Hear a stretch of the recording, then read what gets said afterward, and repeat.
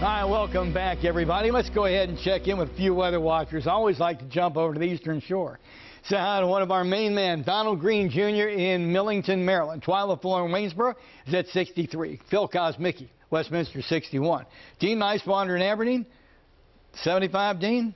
Maybe take the match away from under the thermometer. Janet Tigler in Taneytown, 64. Christopher Neff in, uh, in, uh, in uh, Westminster 63. Robert Hislop Parole 67. You get the idea. Bob Woods, uh, Dave Hartman, and Dean. Everybody's pretty much in the mid 60s with the exception of Dean, Dean Nicewander.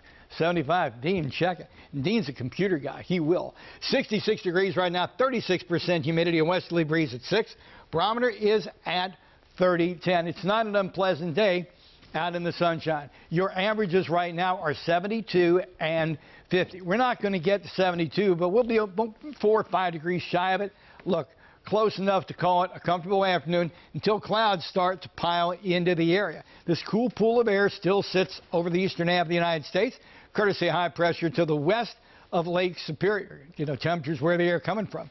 And uh, we have a pretty good breeze kicking up through the afternoon forecast out of the north and west. Now, this high will sink down to the south, eventually become a heat pump. We'll get into a zonal flow, then a southerly flow. As we get to the weekend and weekend, notice the red arrows moving our way. Then once we get to Preakness Saturday, it's going to be Chamber of Commerce weather. More seasonal high temps in the low to mid 70s.